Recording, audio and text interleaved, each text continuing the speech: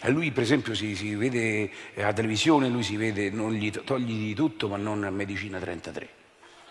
Medicina 33 proprio ci passa il tempo perché tutti gli acciacchi che c'ha li riconosce tutti, ce l'ha tutti, non se ne perde uno. E, e quello poi gli è simpatico perché eh, sembra un po' Mister Magoo quello, no? Di Medicina 33.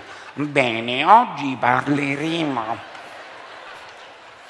dei duroni.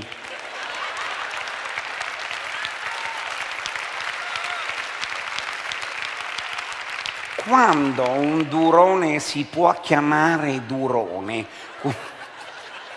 Quando è già duro o quando è barzotto?